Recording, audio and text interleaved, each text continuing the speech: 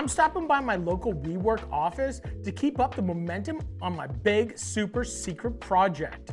Shout out to WeWork. A big thanks to them for sponsoring today's episode. Their WeWork All Access membership gives me the space to focus near home and around the world. Coffee, tea, Wi Fi, and other professional amenities are all included. I don't think it would have been possible to get all this work done in my home studio today. Uh uh Are you a talented human?